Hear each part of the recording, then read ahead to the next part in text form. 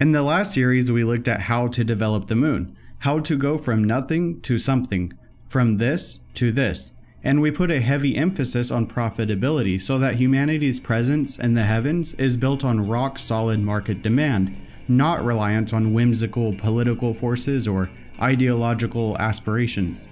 Now we're going to look at what's next, what comes after, what possibilities the moon opens up for us once we've established a presence there. And in doing so, we'll journey from the end of the beginning of lunar development to the deployment of the first orbital infrastructure, the creation of an Earth lunar transfer vehicle, the construction of a mass driver, the establishment of a domestic lunar shipbuilding industry, and the assembly of giant stations in orbit around the moon.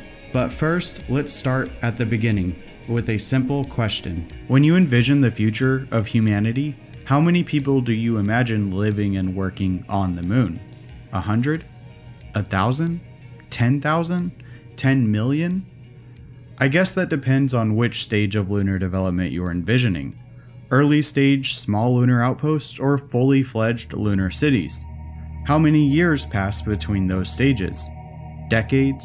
Centuries? Millennia? What if I told you that the progression from small lunar outposts to fully fledged cities might happen much quicker than anyone realizes? That the demand for massive expansion is there, but that the largest constraint to lunar economic development will be launch frequency over anything else. Let me explain. Lunar regolith is full of iron, especially the regolith located in the relatively flat mare regions, where we'd want to establish a lunar economy for many of the same reasons we like to build cities on flat areas here on Earth. Not to mention, it makes landing a whole lot easier. And it turns out that we can turn this regolith into steel and oxygen gas by smelting it with chromium anode electrolysis reactors and adding a dash of carbon and other alloys. With steel, you can make panels and beams, and panels and beams and 5 axis CNC machines make lunar dreams. With panels and beams, you can build big breathable boxes, also known as buildings, and you can fund the construction of these big breathable boxes using other people's money. Government grants if you're well connected, but if not, you can get private venture funding because you'll make a return on their investment a profit by selling tickets to stay in those big steel boxes you'll construct because they are located somewhere people will pay to stay. The moon. At least that's what you'll tell your investors, but you know deep down that in reality, the real ROI won't come from just tourism, but rather from the much deeper pockets of Uncle Sam and friends since you understand that as soon as the first prototype base is completed and shown to be reliable, a flood of bids will come in for non tourism related facilities. The demand for lunar real estate will become massive. See, you're kind of smart sometimes, and you know that, like the iPhone before, nobody knows they need a lunar facility because nobody has a lunar facility.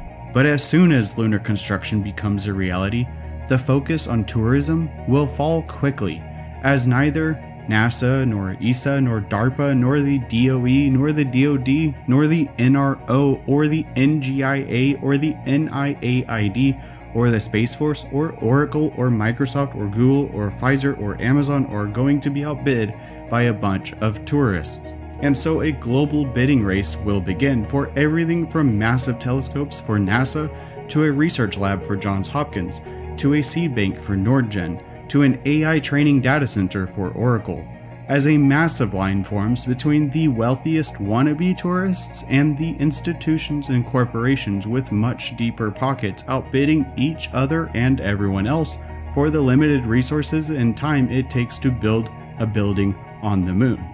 But you know none of it will matter because as soon as Russia and China land the first joint survey rover, the President of the United States will enact the power of the purchaser to procure a federal joint strategic lunar facility. Strictly for peaceful scientific research, of course. You can do a lot with steel panels and beams and 5 axis CNC machines, yet, no matter how advanced your domestic lunar production capacity becomes, no matter how much you make off world, this roaring economic engine will always need inputs from Earth or elsewhere for anything that cannot be easily sourced on the moon. Nitrogen, nitrogen derivatives, humans, and hydrogen, including all the H2O and hydrocarbons humans like to ingest, such as food and microplastics. You know, basically anything that isn't iron or silica or oxygen or a creep composite. This shouldn't be that surprising. Every modern economy on Earth, even the most insulated, still need imports. But how much our lunar economy can import will depend on two things how often we can land a load on the lunar surface, and how large that load is. A Starship sized super heavy lift launch vehicle has a generously high end estimated payload capacity of 200 tons to the lunar surface. If we land one Starship sized rocket on the moon every single day, 365 days a year, then we could deliver 73,000 tons of stuff a year. That may sound like a lot, but it's not. It's not enough for even a small lunar economy, much less a growing and thriving one. To put it into perspective, that's less than a single medium sized Panamax bulk carrier from 1980 can carry, which is about 75,000 metric tons a year. Wait, no, not in a year in a single trip at any given time. But okay, I realize comparing cargo ships to rockets is like comparing apples to atom bombs. However, we're not concerned about energy, but rather logistics here, and 73,000 tons a year is very little. So let me try another comparison that's probably a bit more familiar. A small Walmart receives about 5 trucks a day to remain stocked, which would be about 1,825 trucks a year. And this was actually surprisingly hard to find data on, so tell me in the comments if I'm wrong, but according to several truck drivers, it seems that the typical semi-truck load weight is around 22 metric tons in the US, although it can be much higher. But let's just say 22 tons per truck as a conservative estimate, meaning a single Walmart receives about 40,150 tons of goods a year. And yeah, I'm basing this on info garnered from Quora and Reddit posts from truck drivers and Walmart stalkers, but at the end of the day, 7,000 grains of barley weighs 45% as much as a chunk of platinum iridium alloy from 1889. So I am officially proposing the addition of a new unit of measurement to the International Bureau of Weights and Measures, the Walmart, which is equal to 40,150 metric tons, or about 619 billion grains of barley. If we land one Starship sized rocket on the moon every single day, 365 days a year, then we could deliver 1.8 Walmarts of stuff a year. But how realistic is that launch frequency? I mean, can we actually land one Starship sized rocket on the moon every single day of the year?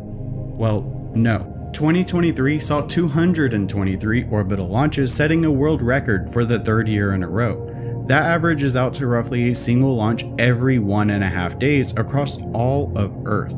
Think of all the things that go into a single launch from Earth the logistics, communication, and supply lines, the timing and tracking and coordinating, all of this done once every 24 hours on Earth by an essential workforce with rare skills and experience who will need vacation and sick days.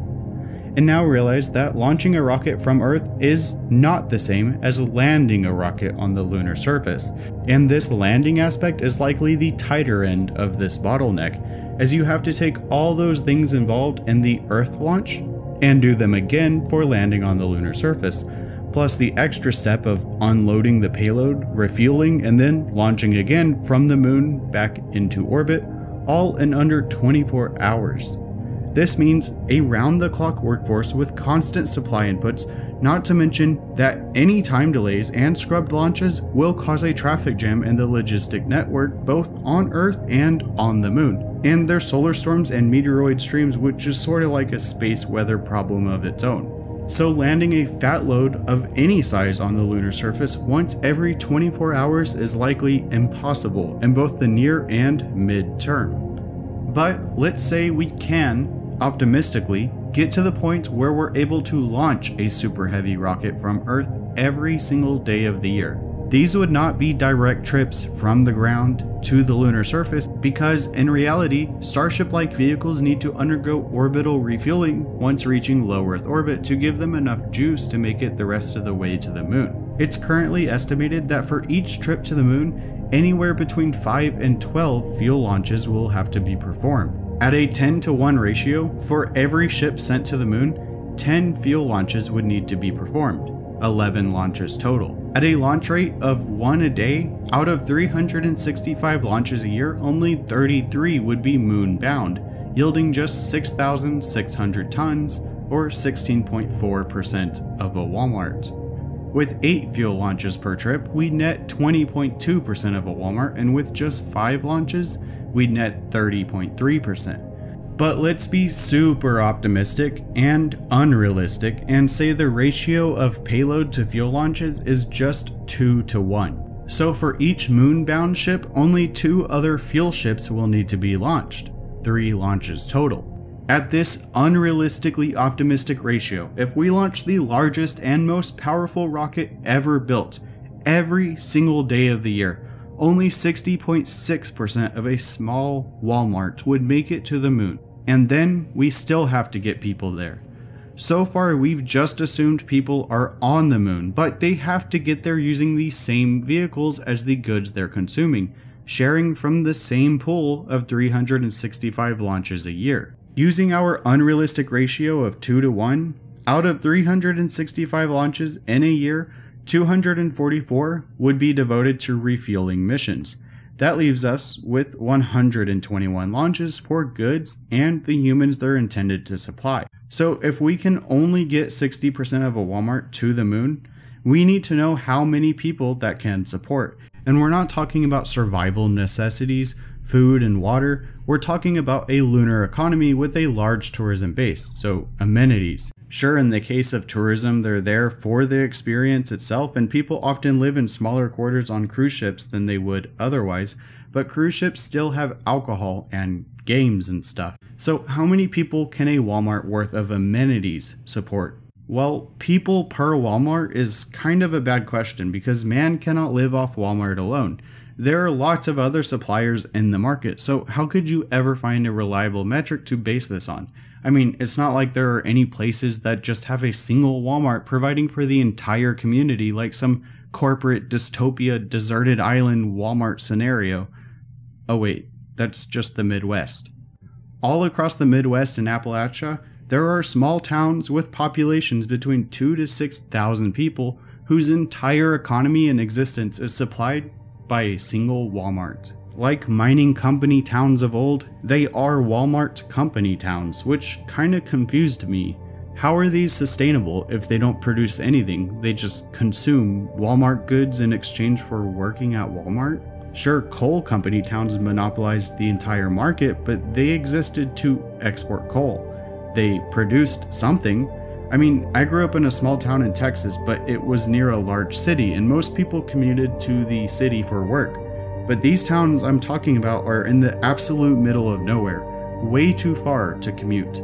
So then, how do these towns, which don't commute to a nearby big city and don't really seem to produce anything no factories or workshops or mines, not even farms in most cases, remain on consumption alone? Now, I'm making broad strokes here, as every one of these forgotten places has a unique background and character, but in general, it seems that most of these places were established and grew to their peaks from two things energy or transportation. Either coal or oil was discovered there at some point a hundred years ago, the mines and wells now long since exhausted, or a railroad or cattle trail stop, and that's pretty much it. But that's the story for tons of abandoned ghost towns, too. Why are these still here? How are these places sustainable? Well, the truth is, they aren't. All of them have seen population declines every census for decades. They are on their way to ghost towns. It seems most kids who grow up in these areas move out as quickly as possible. So they are dying, just slowly. Does having a Walmart slow their death spiral? Well, there is only a Walmart there because Walmart felt there was a large enough serviceable market to warrant the upfront investment so there has to be something other than Walmart bringing money into these towns. And with more digging, I found that those who remain and aren't employed by a local Walmart are typically employed in either trucking or the oil industry, the nature of which sees them leaving home for several weeks at a time, and then returning for a few weeks of off time. So they do commute, but instead of heading to a nearby city, they traverse state lines and national borders. Interestingly, this pattern of employment links them to the very industries that originally led to the development of their towns energy and transportation. These industries have deep historical roots in the community, shaping its identity and economic foundation over generations. Deep roots to the past, roots which give these places staying power long past their expiration. Debt, welfare, addiction, they all do their part in keeping people in places like these, but the real staying power, that which has kept these towns on a map with enough population to warrant a Walmart, are their roots to the past. Like old oaks, communities with deep roots may stand for generations, nourished by the past. But while roots can be nourishing, they can also be entangling. While many may leave, emigrating to greener pastures, places of growth, these forsaken places endure because every year some of the youth remain, some who might otherwise have found opportunities and fulfillment elsewhere. Trapped by their families, their memories, their social networks, their comfort, their homes. The weight of history both anchors and restrains. Every generation that remains sustains the community, preserving its traditions and stories, but these are other people's stories, not their own. Futures sacrificed for the sake of the past. Jupiter eating his children. But the truth is, eventually, the day will come when even the strongest oaks must bow. These towns are nothing more than the high water marks of a long forgotten wave the remnants of historical echoes in a void, silently living out their twilight years, quickly approaching oblivion as one by one homes are left to rot and the concrete cracks grow. No matter how many once called them home, eventually these forsaken places will fade. Even the oldest trees with the deepest roots are toppled eventually, usually cut down to make way for a new Walmart. This is Rare Earth. Oh wait, no, it's not. This is anthrofuturism. What the hell? Uh, where was I? Oh yeah. How many people can a small Walmart worth of amenities serve per year?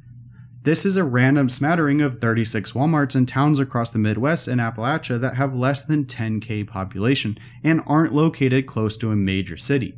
I literally just typed into Google Maps Walmart and then zoomed into the middle of nowhere, then clicked search this area, and did that 36 times. And every time I was surprised to find multiple Walmarts.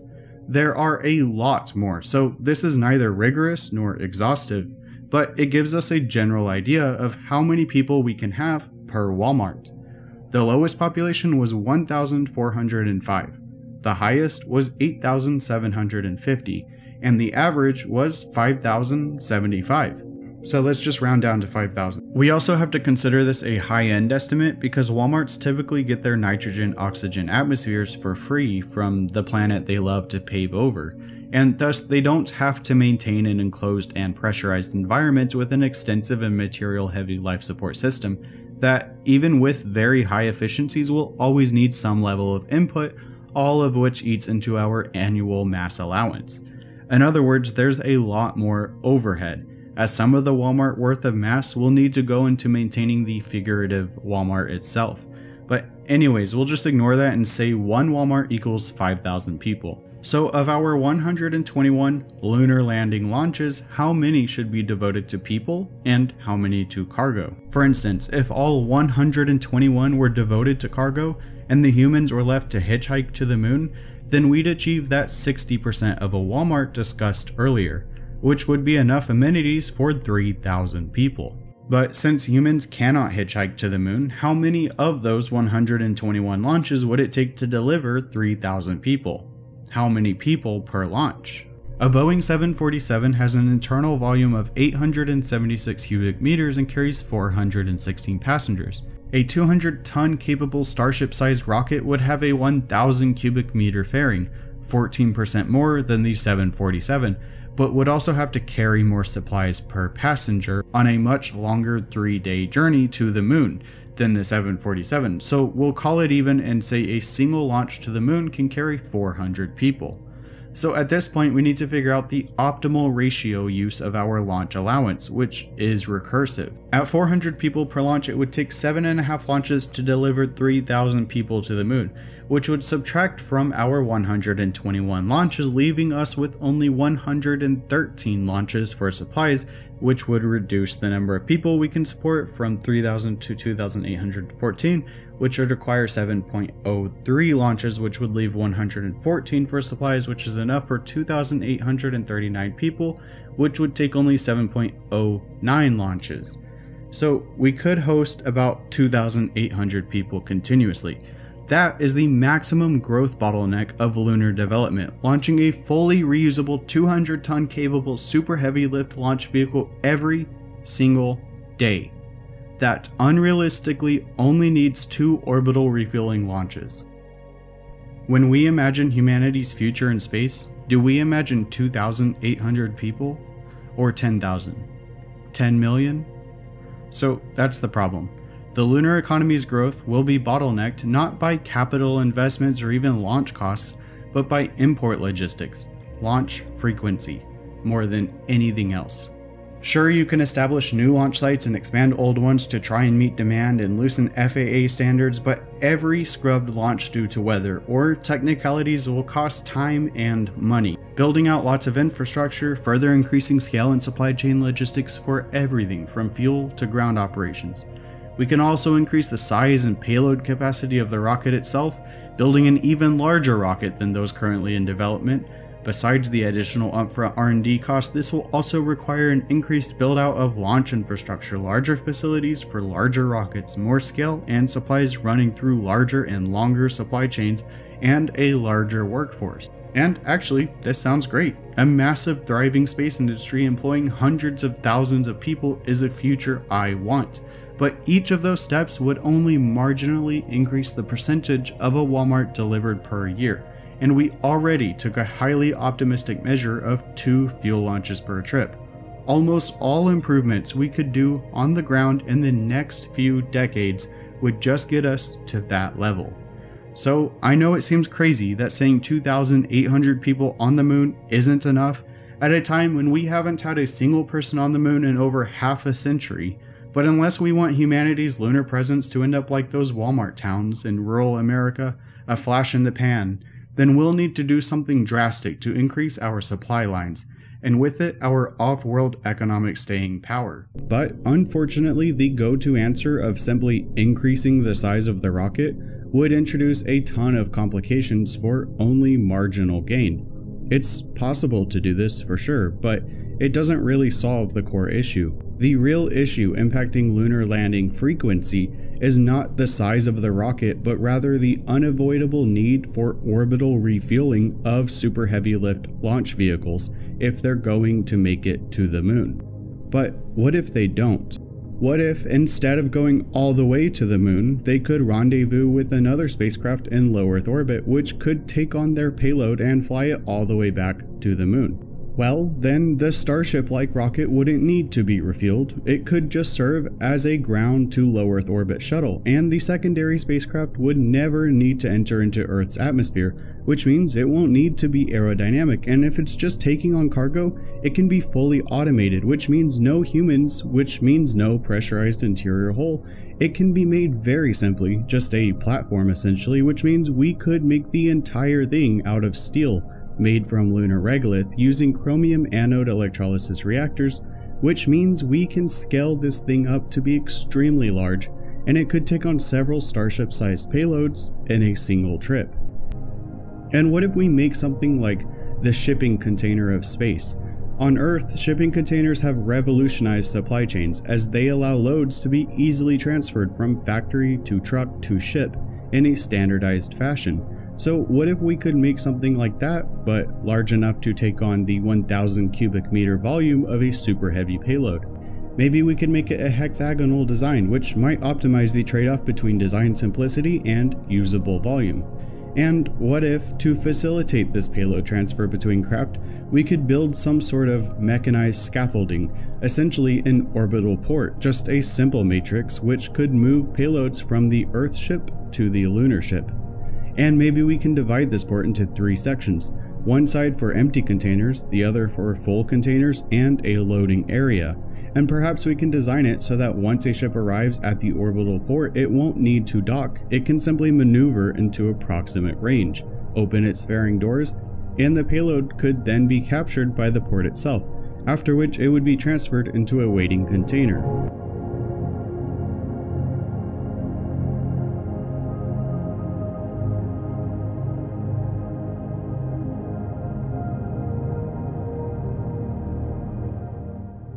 That container would then be moved into the full area where an incoming freighter would pick it up after dropping off its load of empty containers on the empty side. Then that freighter would return to the moon fully loaded with supplies for a growing and thriving lunar economy. Now, you'd think it would be as easy as just landing on the moon, unloading, then launching back and repeating the process. But here our real troubles begin, for in those details there be devils. You don't want to land the freighter too close to the base for safety reasons, but you do want to unload your cargo close to the base for efficiency reasons. You also need to figure out a way to refuel the vehicle, which means you need a fuel depot, but you don't want that fuel depot to be anywhere near your landing spot for explosive reasons. And also you'll want to load your freighter with empty containers to return them to the port for that closed loop container trade. So what, do you land away from the base and use a bunch of gantry cranes for everything? Do you load its cargo onto a rail cart? Do you add wheels to the freighter, adding to its weight? Do you grab it with chopsticks? Well, what if you land the freighter on a landing pad far removed from the base, and that landing pad itself can move the freighter towards the loading, unloading, and refueling area near the base entrance, sort of like the NASA crawler used to move rockets into place. And what if we gave that freighter a little boost in its liftoff by accelerating the landing pad to a few dozen kilometers per hour by simply making the rails longer? But why stop at a few kilometers per hour? Why not go up to a few kilometers per second and use the landing pad itself to also launch space freighters from the lunar surface back into orbit, so the freighters themselves wouldn't need to carry the dead weight of lunar launch hardware and fuel. We could accelerate to orbital escape velocity using electricity, so the landing pad is like a reusable catapult. If we space two rails apart for each leg and run an electric current through the rails, and then the landing pad legs ride upon a conductive armature which connects the circuit, a railgun. Lunar escape velocity is 2.3 kilometers a second, so if we maintain a gradual acceleration of just 1 g, that of regular Earth gravity, then our track length would need to be about 300 kilometers and it would take 4 minutes to reach escape velocity. At an acceleration of 2 g's, our rail length is halved to just 150 kilometers and 2 minutes, and at 3 g's it would be just 100 kilometers or 62 miles for only 81 seconds. While 3Gs is perfectly fine for cargo, we may want to use this same system to launch people, and 3Gs can be a lot on the human body, but it can be withstood for short amounts of time. For reference, astronauts on rockets experience it for up to a minute, while fighter pilots experience 6 and even up to 9Gs for a few seconds. However, considering tourism would likely be a major part of our lunar economy, it makes sense not to limit our visitors to only highly trained fighter pilots. Legally, roller coasters can pull 3Gs for no more than 12 seconds, so a passenger version would likely need to be about 300 kilometers, although we could shorten this by having a gradual increase in acceleration and accelerating more towards the end, pulling 3 or even 4Gs in the last few seconds. But initially it makes sense to just use this for cargo per the cargo freighter, and secured cargo can easily accelerate at 4 to 5 Gs or more without much of an issue. 5 Gs would give us a track length of just 25 kilometers or 15 miles, and would achieve escape velocity in just 48 seconds. But even this is a significant distance. It would be by far the largest thing ever built off-world.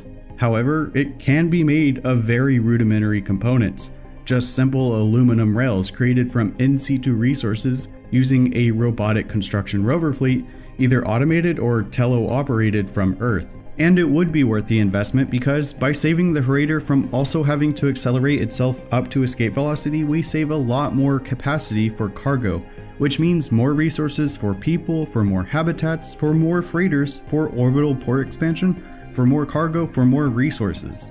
And so, what we have just arrived at, through a bottoms up, step by step problem solving approach, is the creation of a reusable, electric powered system used to drive mass into orbit, a market driven mass driver.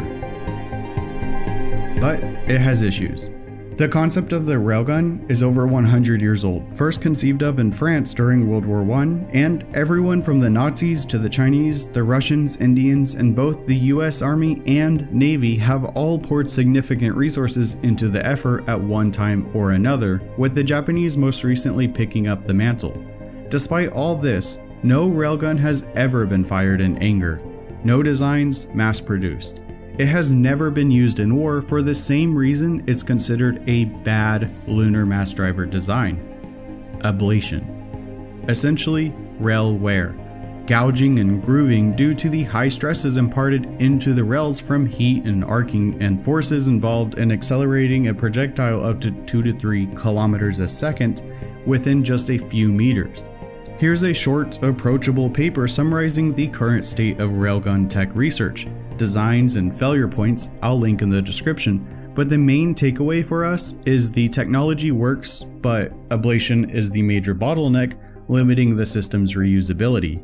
The US Navy was able to get off about 400 rounds before a barrel needed to be replaced, and was approaching 1,000 rounds before the program was shut down in 2021. But the major costs involved make it impractical as a weapon. But we aren't trying to build a weapon, we are trying to build infrastructure. All previous research has been done in the context of trying to make Navy guns with super short track lengths and super high acceleration rates, like tens of thousands of Gs of acceleration. Very demanding, lots of ablation. And it's shocking they even got up to 400 rounds with that. But we aren't trying to fit our railgun into a battleship. We can make our track length very long, and we can make our acceleration rates pretty low. But even with long tracks and low acceleration rates, we'll still have ablation. And this is why railgun designs have largely been considered bad candidates for lunar mass drivers in favor of coil guns, which suspend their payload between copper coils, allowing for no surface contact and no structure wear. But the issue with this approach is the payload size would be constrained to the diameter of the coil gun mass driver, which means it won't work well with our freighter design. A design which was logical in being a basic, easy to construct platform meant to simply move cargo back and forth. The only reason we reached mass driver was as a means to amplify the effectiveness of these freighters, which themselves were the solution to our original market driven supply problem. On the moon and in space in general, construction costs are the largest costs, which is why we need to put premiums on simplicity, like with the freighter design, and the coil gun mass driver would have much higher construction costs derived from a more complex architecture demanding more resource intensity per cubic meter compared to that of the rail gun, which is basically just simple suspended rails and capacitors. Now sure, with the coil gun, you have rapid reusability, no repair needed, and so while your payloads have to be smaller, you can launch a ton of them in quick succession. But what I think most people miss, probably because the design we're using derives from a coil gun, but it isn't a gun. We're not launching bullets, we're launching spacecraft. You cannot just shoot chunks of the moon out of this thing to a predetermined destination. The loads still need to be powered. There's all kinds of perturbing forces acting on any object at any given time. Consider the sun and moon and earth all interact, which is why some Lagrange points are unstable. Even the varying topology of the nearest planet, different density at say mountain ranges versus plains, has an effect when an object is within the hill radius of that body. So any payload will need to perform station keeping and descent burns to get into a specific altitude or orbital plane.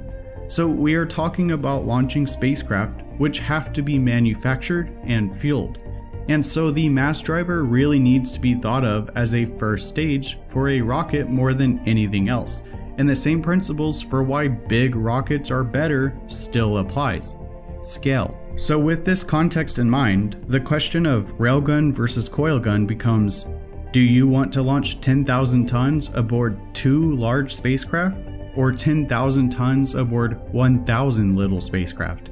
In either case, it makes sense to build those spacecraft on the moon, and it's much easier to build two large spacecraft than 1,000 little ones. As if that wasn't damning enough, the 1,000 spacecraft, basically little rocket pods, have to be recaptured and transported back in a closed loop cycle. Are you just throwing them away? This means they need to be decelerated back to the lunar surface somehow. Under their own power would be very inefficient, but maybe we could use some sort of big platform to capture all of them in orbit and then transport them back to the moon and decelerate them down to the lunar surface. Oh wait, that'd just be the freighter, but instead of transporting cargo in its containers, it would have to transport these little spacecraft which are too small to be used to import a Starship size load unless you want to redesign the entire orbital port to be a much more complex sorting facility to piece apart every incoming payload into a hundred different bundles to fit into these pods, which is just stupid. A potential solution could be to make these little spacecraft much, much bigger, so a single one can launch several Starship payloads worth, and maybe you could land it on a landing pad that moves, and maybe you can move that landing pad really fast on some electrified rails to help with the first stage. And so you can see how a railgun design is optimal. But we still haven't solved that ablation issue. But I'm going to propose a radical solution to that. What if, and hear me out, what if we simply embrace the ablation? What if we simply embrace the fact our rails will be damaged and just repair them between launches? Lunar regolith contains lots of iron, chromium, and aluminum, and a lot of science fiction books and shows such as Artemis focus on the aluminum aspect, showing lunar bases made out of giant aluminum domes, which I always found funny since to get aluminum, you have to run regolith through an electrolysis cell but running regolith through an electrolysis cell will yield lots of products, not just aluminum. Really, it just removes the oxygen gas and separates the metallic components into stratified layers of molten metals, including aluminum, but also chromium iron or ferrochrome, typically being more abundant, and molten ferrochrome is a hop and a skip away from steel.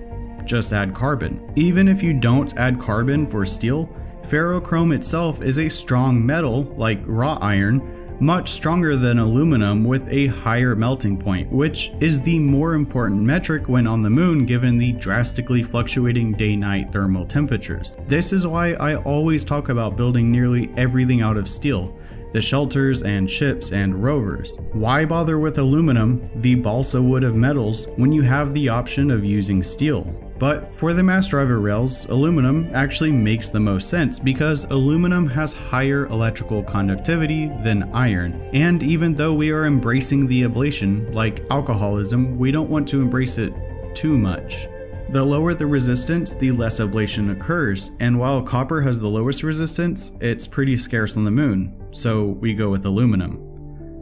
And over time, we can reduce this wear by upgrading the rails with cooling systems and composite platings. By cooling down the rails to 50 Kelvin or negative 220 degrees Celsius or negative 370 degrees Fahrenheit, we could reduce resistance by an order of magnitude. And this sounds like a lot, but remember, the lunar night already drops down to negative 133 degrees Celsius or negative 208 degrees Fahrenheit naturally. But in the near term, just brute forcing it works, because on the moon, resources are ample and power is abundant. So, with all of this in mind, one could easily conceive of a lunar construction rover built around an electrolysis reactor that can print rails. Regolith goes in one side, rails come out the other. And a slightly different, modified version of this rover could simply run along the rails between launches, repairing damaged areas.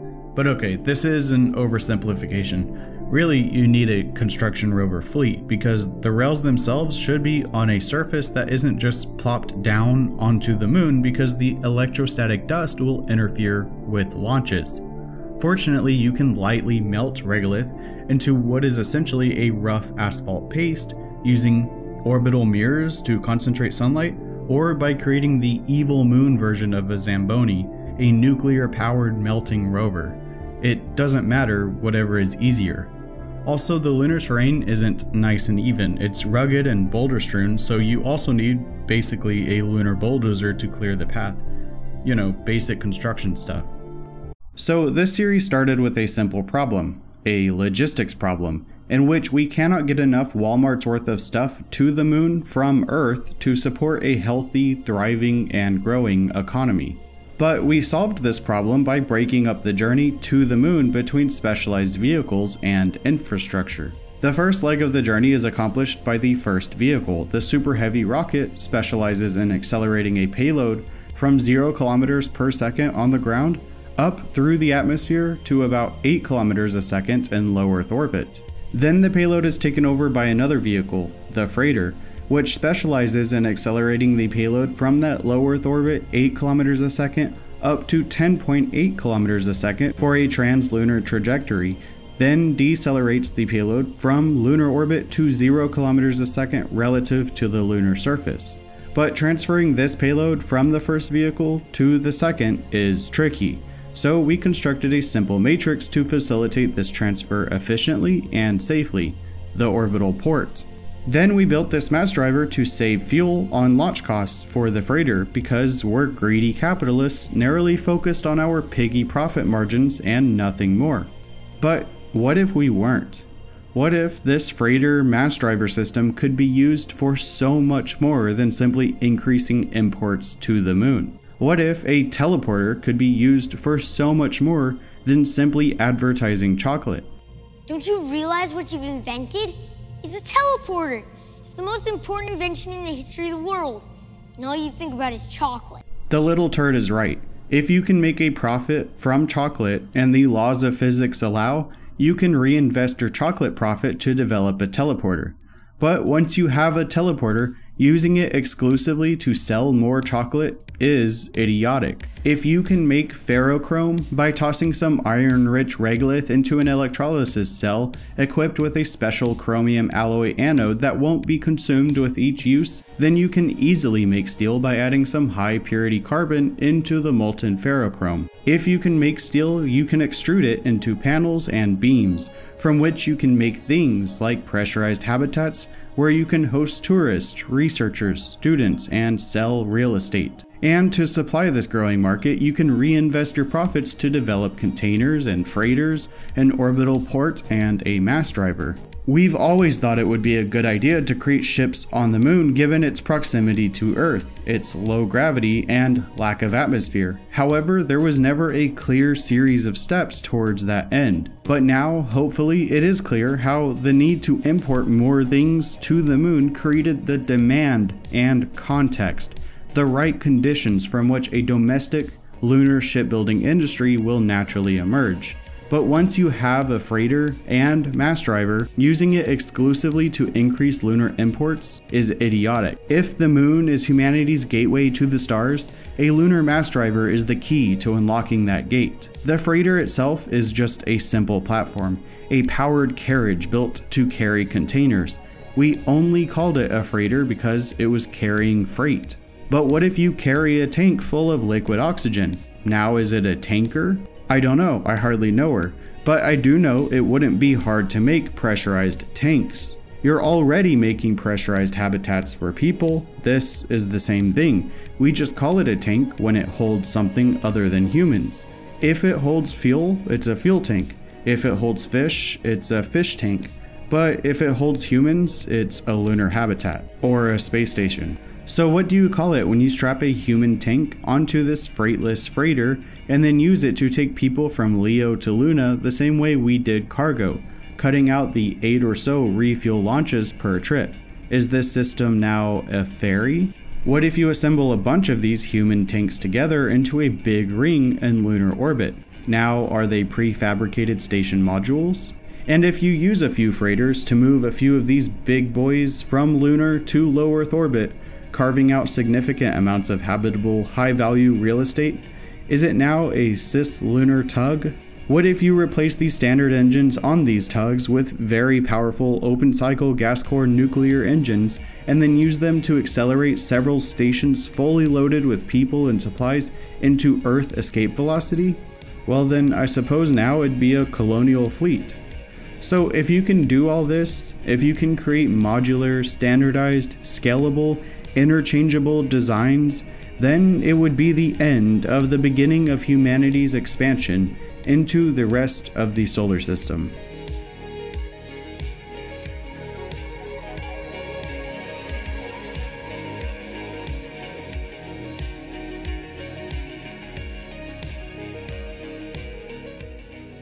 Thanks for watching.